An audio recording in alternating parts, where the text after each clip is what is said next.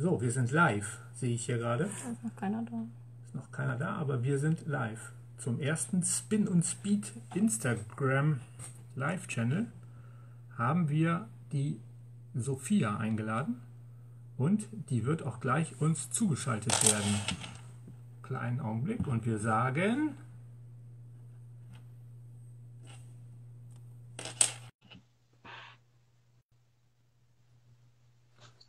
Hi Sophia! Hallo! Grüß dich! Erstmal vielen Dank, dass das geklappt hat, dass du dir die, die Zeit hier nimmst, mit uns eine halbe Stunde ein bisschen zu plaudern, ein bisschen zu quatschen.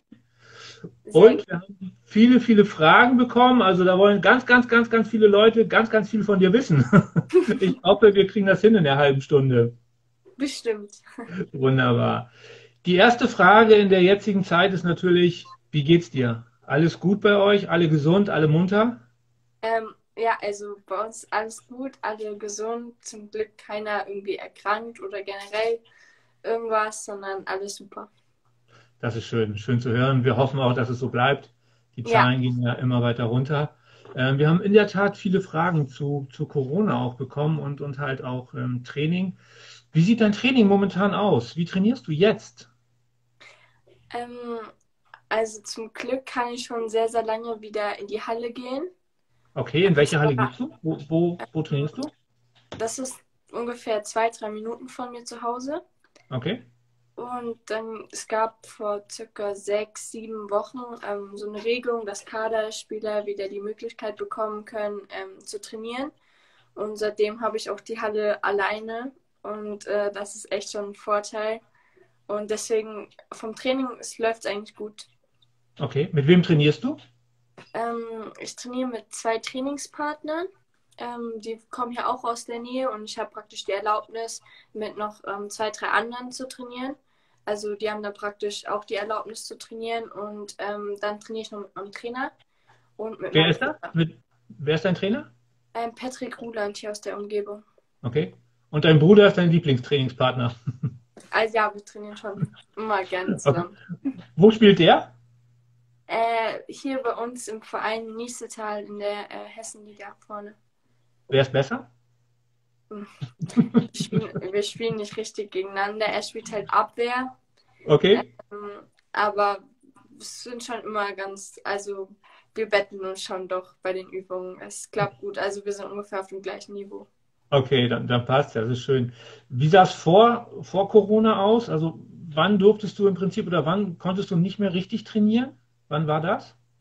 Mm, also, ich kann mich noch daran erinnern, dass ich aus Kroatien wiedergekommen bin von den U21 Europameisterschaften. Ja. Und ähm, dann war so der komplette Lockdown. Das war auch das letzte Ereignis, was es überhaupt gab. Ich kann mich noch daran erinnern, dass wir schon mit Mundschutz irgendwie am Flughafen waren. Da war das also schon präsent. Und als wir dann zurückgekommen sind, das Wochenende, das war eigentlich krass, weil hätte es eine Woche später stattgefunden, hätten wir schon gar nicht mehr losfliegen können.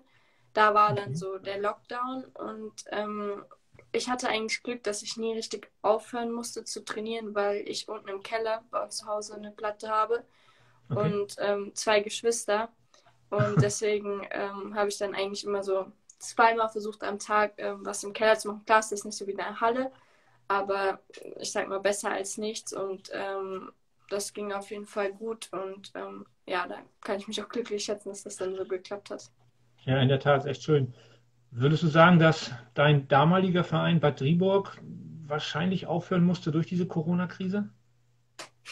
Also ich, ich denke so, das war das i-Tüpfelchen ähm, okay. wegen Corona, weil auch gerade Bad Driburg stark davon profitiert hat, von kleinen Sponsoren also viele Restaurants und alles.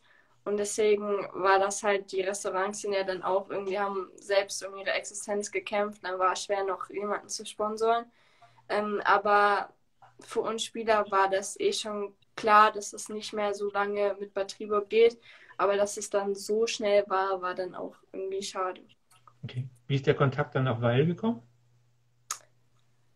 Hm, eigentlich ganz spontan. Also. Das sind ja schon ein paar Kilometer dann, oder? Die du immer fahren musst. Ja, wobei ich froh bin, dass ich überhaupt dann, also dass mich noch viele angefragt haben, weil es dann doch relativ spontan war.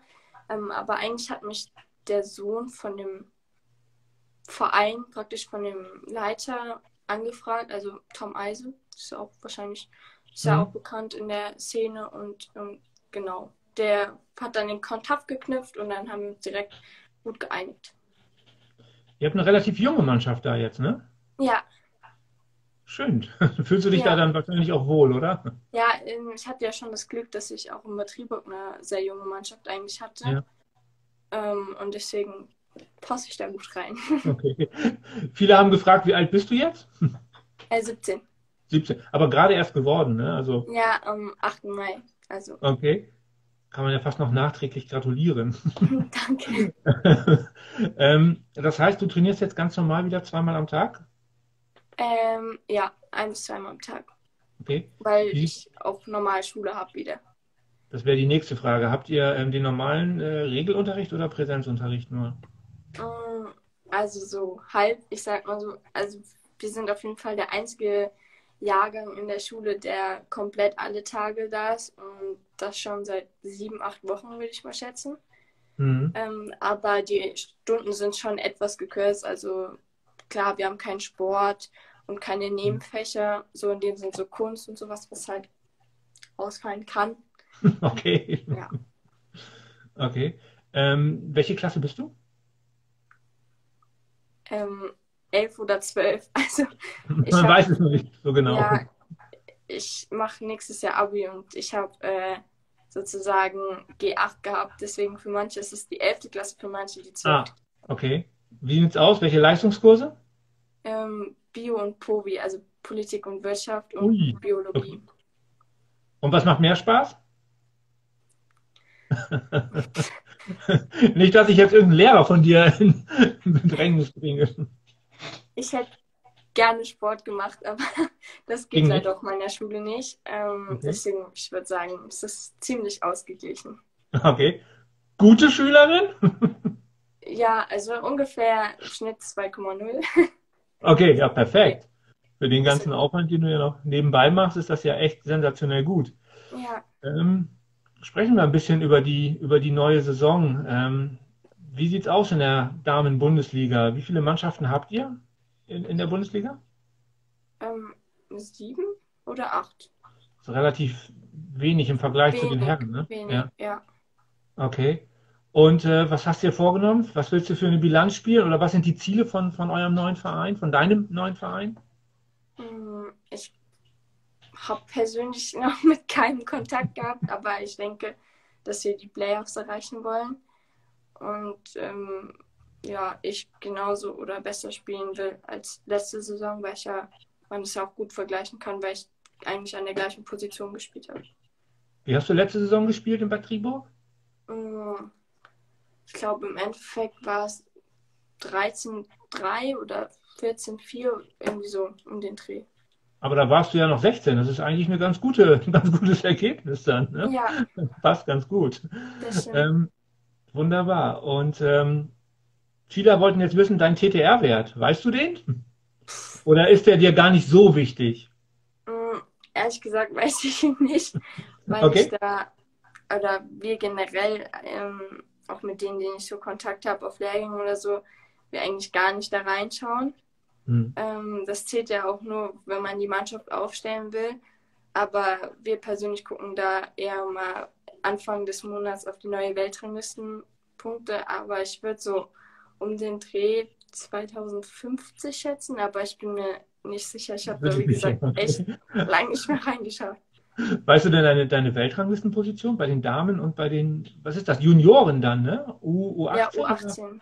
Okay.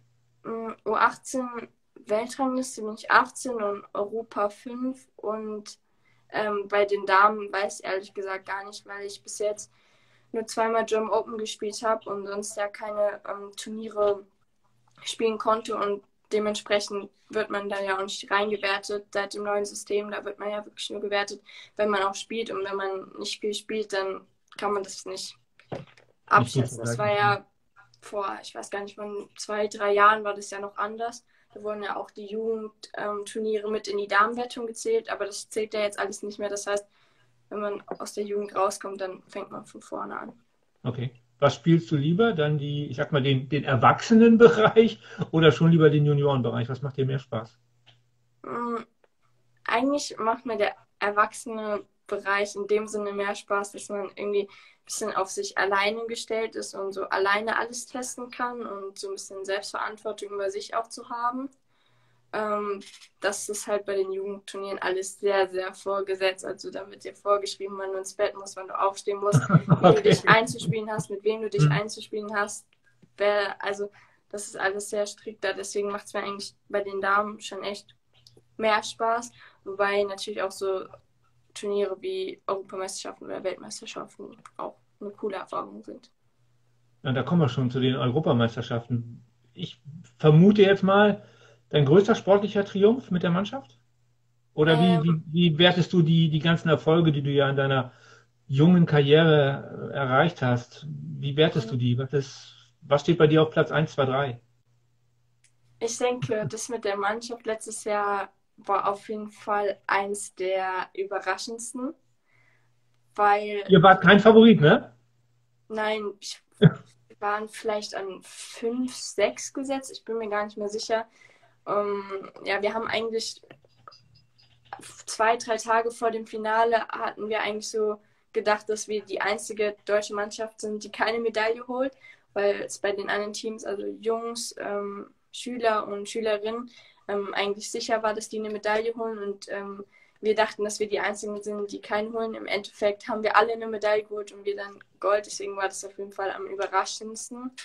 Ähm, und es waren ja auch immer sehr, sehr knappe Spiele. Also ähm, genau, aber ich, ich könnte gar nicht sagen, was jetzt so der Beste ist, weil alle irgendwie was Schönes sind. Auch die ganzen deutschen Meisterschaftstitel, die sind ja auch irgendwie total was wert. Ähm, und auch, äh, dass ich U15 schon mit Nastja ähm, Doppel-Europameisterin bin ähm, oder auch der Europe, Top 10 Sieg kann hm. mich nicht entscheiden.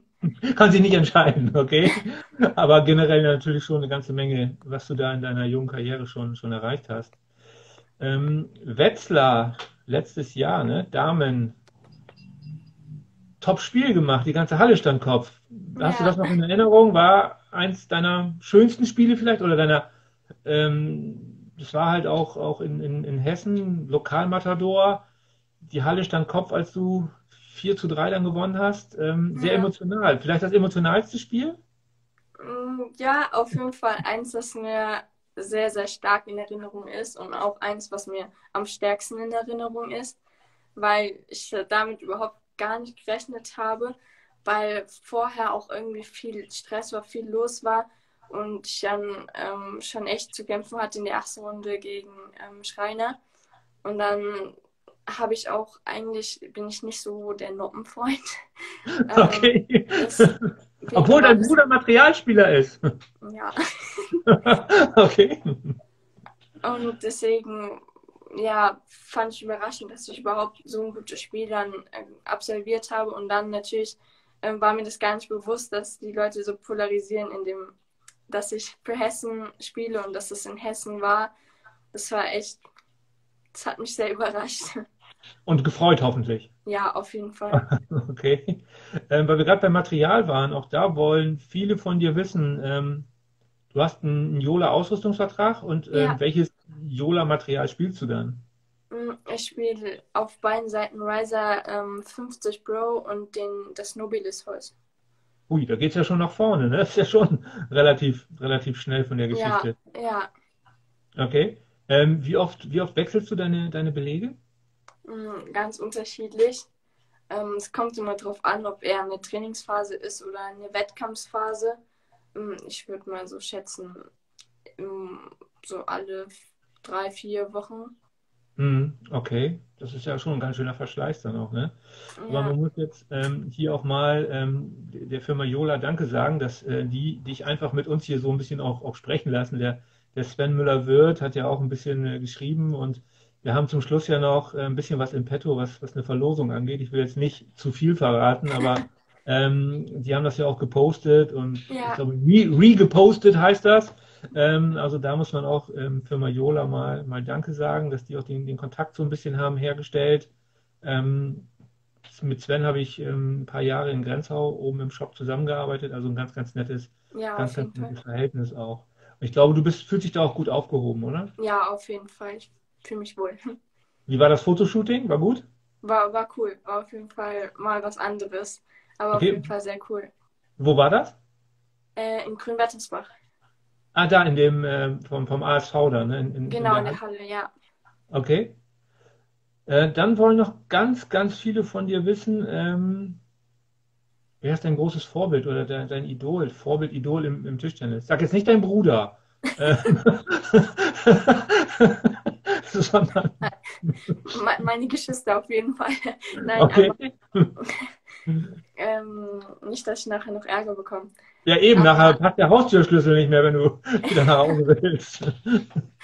Mm, Ich glaube, es gibt gar nicht so dieses eine, sondern ich bin eher so nicht so auf eine Person fixiert, sondern wenn ich auch Tischtennis gucke oder wie auch immer, gucke ich eigentlich von jedem immer. Oder auch sehr wichtige Spiele gucke ich eigentlich auch. Es ist egal, wer da in der Platte steht. Ich denke, man kann sich von vielen was anderes abschauen. Deswegen gibt es gar nicht so das eine Tischtennis-Vorbild, ähm, von dem ich versuche, genauso zu sein, genauso zu spielen, sondern ich denke, gerade auch wenn man Individu- Individualsport betreibt, dass man sich da von vielen so stückweise was abgucken kann. Deswegen sind so im Prinzip alle Top-Spieler, alle, die es nicht nach ganz oben geschafft haben, irgendwie eine Vorbildsfunktion. Okay, jetzt backen wir uns einen Spieler. Vorhand. Von wem die Vorhand? Oh, ähm, Malong, Okay. Rücker? äh, oh, Rückhand. Franz Long oder auch Ovtcharov ist ja auch bekannt für seine Rückhand. Beinarbeit? Panchendong. Bist du eher ein bisschen, Oder äh, ist auch, Schießen ist vielleicht noch krasser. geht auch noch, ne? Äh, Aufschlag? Mm, Timo. Und schon wirst du Weltmeisterin. Ist doch ganz, ist doch ganz, ist doch ganz einfach. Ähm, bist du, bist du gerne beim Training oder muss man dich ein bisschen, bisschen mehr motivieren oder sagst du, ey, das ist klasse, ich, ich freue mich drauf? Bist du eher, ich übertreibe jetzt mal, bist du ein bisschen faul oder ähm, sagst du, hurra? Ich glaube, irgendwie in gewisser Weise würde jeder Sportler lügen, wenn er sagen würde, er würde immer top motiviert ins Training gehen und Mhm. immer Lust haben. Aber im Prinzip mache ich eigentlich schon gerne Sport oder gehe gerne ins Training. Ähm, zwar früher war es anders tatsächlich, aber mittlerweile gehe ich echt gerne ins Training. Oder also eigentlich bin ich auch nicht faul, weil wenn ich schon Freizeit habe und schon Zeit habe, dann mache ich auch irgendwas extra. Keine Ahnung, Was machst du dann noch? Was- Aufschläge. Wie bitte? Was, was machst du noch extra, wenn du, wenn du Hobbys Ja, jetzt zum Beispiel mache ich Aufschläge oder jetzt in der Corona-Zeit war ich auch ein, zwei Mal mit meiner Schwester laufen oder fahre jetzt irgendwie mal zum, mit dem Fahrrad zum Training. Also ich mache schon viel Sport, ähm, aber klar gibt es manchmal auch Phasen, wenn man viel weg ist, viel unterwegs ist, viel mit der Schule hat, dass man dann irgendwie auch mal sagt, boah, ich will schon lieber mal einen Tag Pause haben. Hm. Was, was machst du sonst noch außer, außer Tischtennis und Sport? Was hast du noch an Hobbys? Oder als Ausgleich? Mm, Also ehrlich gesagt gibt es nicht so viel, wozu ich Zeit haben könnte. Ähm, aber ich habe, ich glaube, als ich fünf war, habe ich so ungefähr vier, fünf Jahre Klavierunterricht gehabt. Oh, okay. Und wir haben auch ein Klavier zu Hause, da gehe ich ab und zu nochmal ähm, dran, aber meine Geschwister oder meine Eltern nervt es auch immer, weil ich öfters die gleichen Lieder spiele. Aber die Nachbarn beschweren sich nicht, oder? Nein, nein, alles gut. Also, Okay.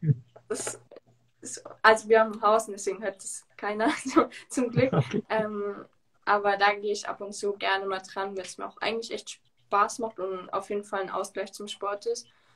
Und sonst, was ich früher, also sagen wir mal die letzten drei Jahre gar nicht gemacht habe, war zum Beispiel mit Freunden treffen.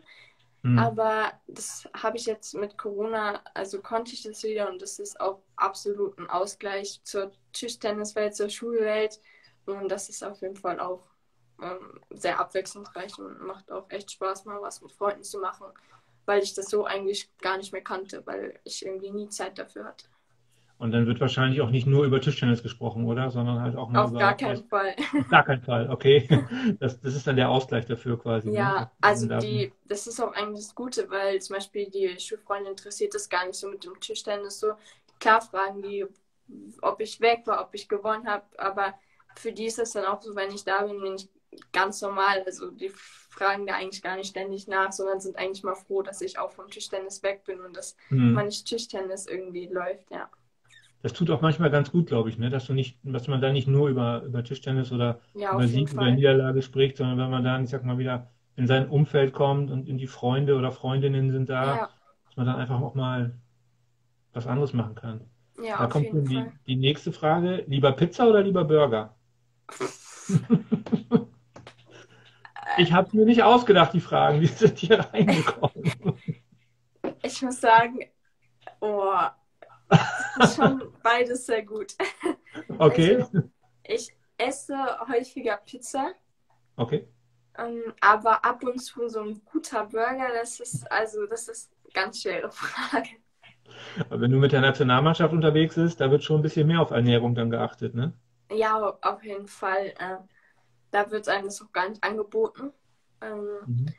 ich weiß noch, ähm, bei den Euros ist es immer so, dass wir zwischen den Mannschaftswettbewerben und den Individualwettbewerben immer einen Tag frei haben.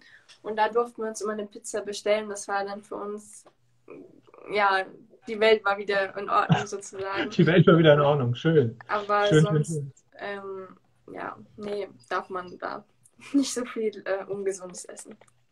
Und dann geht gleich weiter, nicht nur mit dem Essen, sondern Lieblingsgetränk. Mm, Also, wenn ich mal irgendwo essen gehe oder wie auch immer, bestelle ich mir häufig Eistee oder äh, eine Sprite. Okay. Noch nichts Alkoholisches darfst du noch nicht mit 17. Oder zumindest darfst du es nicht sagen. Ja. Okay.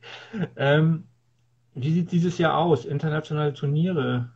Eher schwer, oder? Ist, glaube ich, alles abgesagt bis jetzt, ne? Ähm, ja, wobei, also ich habe jetzt gehört, dass die Euros wahrscheinlich im September stattfinden. Und Ich weiß Wo jetzt nicht, wie fest oder wie das aussieht, aber ähm, die sollen eventuell wieder im September starten. Okay. Wo wären die? Äh, in Zagreb. Ah, okay. Schöne Stadt. Ja, Aber da seht ihr nicht, da seht ihr nicht viel von dann, ne? nee, nee, leider nicht. Wie gesagt, es gibt bei den Euros immer nur einen freien Tag. Aber das ist meistens so kaputt, da will man eigentlich gar nicht so viel rausgehen, da will man eher irgendwie den Tag im Bett verbringen.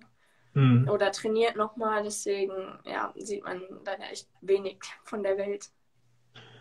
Ähm, die nächste Frage, die hier einer gestellt hat, ist, ähm, welche Ziele hast du noch im, im, im Tischtennis? Fangen wir mal mit den, mit den Juniorinnen an, also die, die U18. Wie sieht's da aus? Also ich würde schon noch gerne eine Medaille mal zu holen. Ähm, Mhm.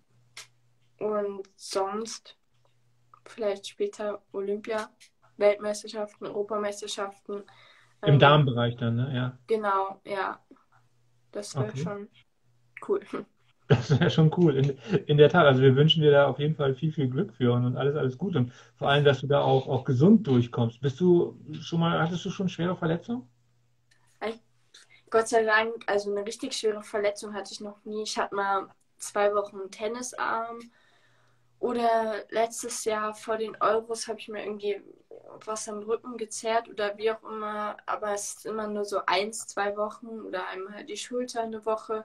Aber noch nie so, wo ich sage, okay, jetzt musste ich wirklich mal einen Monat, zwei Monate pausieren. Das war zum Glück noch nie so. Ja, Gott sei Dank. Möge es so, möge es Ja. so bleiben auf jeden Fall, ne? Ähm, das wäre ja wirklich, wirklich ärgerlich, wenn du ähm, da so zurückgeworfen würdest oder werden Ja, würdest. stimmt. Genau. Ähm, jetzt haben wir hier noch eine Frage. Äh, wie groß bist du? Oh, wie groß ich bin? Ich bin ähm, 1,69. Hoffentlich knack ich noch einen Zentimeter. Ja, auf dem Podest, wenn du auf der Eins bist, dann bist du größer als alle anderen. Ähm, dann haben wir hier noch eine Frage. Ähm, aber ich, ich stelle sie dir einfach, aber ich, ich würde sie an deiner Stelle nicht beantworten. Es geht hier wirklich, ähm, da möchten ein, zwei Leute deine Autogrammadresse haben. Ähm, ich habe dich oder wir haben dich ja äh, ange, angeschrieben und du warst ja auch ganz fleißig. Ich halte das mal in die Kamera. Äh, also wir haben ja Autogrammkarten von dir. Mhm. Ähm, wenn jemand ein Autogramm von dir haben will, soll er am besten uns anschreiben mit einem frankierten Rückumschlag und wir schicken es raus. Oder möchtest du deine Adresse jetzt hier preisgeben? Ich würde es auch, so die Idee finde ich gut. Okay, alles klar. Was du aber noch nicht weißt, ähm, wir schicken dir noch ein paar Karten. Also du musst ah. noch, du musst noch mal fleißig, ähm, fleißig cool, werden. Alles gut, ist, alles gut. okay. Keine Arbeit. Ja, ein bisschen schon, ne? Du ja, weißt ja nicht, wie viele, du weißt ja nicht, wie viele kommen. Wie bitte? Du weißt ja nicht, wie viele kommen. Achso, ja, aber es macht ja eigentlich schon Spaß. okay. Äh, wie, oft, wie oft wirst du angesprochen bei Turnieren nach Autogrammwunsch? Also. Nehmen wir, mal das Beispiel, nehmen, wir mal das, nehmen wir mal das Beispiel Wetzlar. Wie oft oh, bist, bei, du, bist, du, angesprochen? Ja, bei Wetzlar ist es mir wirklich am krassesten Erinnerung. Da war es echt so, wenn ich da oben ähm, nach dem Spiel vor allem, als ich oben in dem Zuschauerbereich, weil da auch, ich glaube, mein Vater und mein Bruder waren mit und noch der Manager und ein paar. So, wenn ich zu denen gegangen bin, dann waren schon auch viele kleinere. Ich könnte es jetzt gar nicht in der Zahl sagen, aber da waren schon echt viele. So, da wurde ich oft gefragt oder auch ähm, unten in dem Bereich haben mir Leute so Karte oder wie auch immer ähm, zugehalten. Aber mhm. sonst auf internationalen Turnieren, da sind nicht, also es ist ja eher Jugendturniere und da kommen ja. gerade in, ähm, sind ja in so Polen, ähm, Kroatien und so, erkennt einen ja so keiner. Ähm, genau, das spiele ich ja eigentlich am häufigsten, aber zum Beispiel in Watzia war es echt schön, also da haben einen schon relativ viele erkannt oder ähm, wollten, also heutzutage ist ja auch öfters so, dass die ein Foto wollen. Hm, ähm, ja, selten, vor allem genau. kleine, aber sonst eigentlich überschaubar. Und alle auch nett gewesen und nicht nach dem ja, Motto, ey, hier unterschreib mal. Okay. Bitte? Nicht so nach dem Motto, ey, hier unterschreib jetzt so, mal, sondern nein, nein, war vernünftig und nett angeschrieben, an, ja. angesprochen worden. Ja, das ist ja auch immer relativ wichtig, finde, finde ich, ich zumindest. Ja, auf jeden Fall. Schön, schön, schön. So, was ich ja vorhin schon angesprochen hatte, ähm, Jola und, und beziehungsweise Sven von Jola ähm, hat noch ein kleines ähm, Überraschungsbonbon für uns, nämlich es wird ein, ein T-Shirt von dir geben, ein, ein Trikot von dir mit deinem Namen beflockt, ähm, was du dann unterschreiben müsstest noch oder solltest. Das wird dir zugeschickt. Das wollen wir verlosen. Ähm, wir haben keine Ahnung, wie wir es verlosen. Hast du eine Idee? Einfach ähm, wir, wir posten ein Foto auf Instagram und Facebook. Jeder soll runterschreiben, wer es verdient hat, dein, dein T-Shirt zu bekommen oder dein Trikot zu bekommen und dann losen wir einfach aus, oder? Hast du eine andere Idee? Nee, finde ich gut. Die Idee ist gut. Okay, dann machen wir noch ein, noch ein Foto davon und dann, ähm, dann schauen wir mal, wer der glückliche oder die glückliche Gewinnerin ist. Wenn es ein Gewinner ist, wird sicherlich ein T-Shirt. Ähm, Wenn es eine Gewinnerin ist, dann wird es ein Damentrikot. Das hatte Sven schon, schon ah, gesagt. Das wird vorher dann bestimmt. Ähm, nee, wir, wir, es wird ja gelost. Und mhm. der, wenn es jetzt eine, eine, Gewinnerin ist, dann gibt es ein Jola Damentrikot. Mhm. Und wenn es ein Gewinner wird, dann gibt es ein Jola T-Shirt. Halt mit, okay. mit einem Namen, Unterschrift drauf. Und ähm, ich lege mich jetzt mal ein bisschen aus dem Fenster. Ähm, wir machen noch drei Schlägerhüllen dazu. Ich hoffe, ich kriege die von Sven. Ansonsten machen wir welche von uns. Ähm, müsste dann, musst du, müsstest du dann auch noch unterschreiben und dann können wir ähm, heute Abend oder morgen ähm, eine Verlosung machen, weil wir von Spin und Speed, ähm, wir sind technisch da nicht so gut. Das macht also in der Tat meine, meine große Tochter. Ähm, die ist äh, auch 17 Jahre und ähm, die wird das heute Abend oder morgen auf Instagram dann mal posten. Und dann machen wir noch eine schöne Verlosung draus, dass das ein rundum sorglos Paket dann, dann wird und dass der eine oder andere vielleicht noch ein bisschen Spaß dran hat. Ja, auf jeden Fall. Die halbe Stunde ist vergangen wie im Flug, du. Ich gucke auf die Uhr hier, 18.30 Uhr. Ähm, mir hat es wahnsinnig viel Spaß gemacht. Wie war es für dich? Ich fand es auch sehr cool. Also Fragen waren sehr gut und ja, mir hat es auch ja. viel Spaß Wunderbar. Vielleicht können wir es mal wiederholen. Also ja. äh, wir haben dich ja, oder ja, wir haben dich ja wirklich einfach auf Instagram angeschrieben und ähm, du hast super schnell geantwortet, fandst das wahrscheinlich auch super toll und ähm, ja, dann haben wir ein paar Wochen gebraucht, um das vorzubereiten, aber ähm, eine, eine tolle Geschichte einfach. Und dafür vielen herzlichen Dank, dass du dich da echt bereit erklärt hast. Ähm, du bist ja nun mal das größte Nachwuchstalent in Deutschland. Ist ja nicht so, dass man einfach sagt, ähm, die Sophia, die, die macht das jetzt einfach. Ähm, dafür vielen, vielen, vielen Dank und Sehr ähm, gerne. wir hoffen, wir können es irgendwann mal wiederholen. Ja, sehr gerne. Ich hab keine Ahnung, äh, du siehst das wahrscheinlich, wie viele haben zugeguckt, wie viele haben irgendwas in die Mm, Kommentare Ich geschrieben. glaube, es sind so um die 40 gewesen. Okay. Gut, wir haben nur, wir haben 300 Follower oder 400 knapp. Du hast, wie viel hast du? 3400, 3500? 3300 oder irgendwie so in der Richtung. Dann machen wir das vielleicht nächstes Mal lieber über deinen Kanal, dann kommt vielleicht ein paar mehr. Wobei ich glaube, dass die, also aus meinem Kanal, ich glaube, es sind auch viele drin. Ich glaube, die bekommen dann auch eine Nachricht. Okay, Ja. cool. Dann sage ich, Sophia, vielen, vielen, vielen Dank. Gerne. Bleib gesund, bleib so, wie du bist, fröhlich, lustig, völlig unkompliziert, so wie wir geschrieben und gemailt haben, hat echt tierisch viel Spaß gemacht. Ja, Da haben wir, da haben wir auch schon andere Sachen erlebt. Ähm, vielen, vielen Dank, Sophia. Und äh, wie gesagt, ähm, meine Tochter stellt das dann, dann auf Instagram. Die Ware kommt zu dir. Wer ein Autogramm haben will, wendet sich an uns. Und dann hoffentlich bis zum nächsten Mal. ja, alles klar. Super, Sophia. Danke dir. Mach's gut. Ja, Tschüss. tschüss. Tschüss.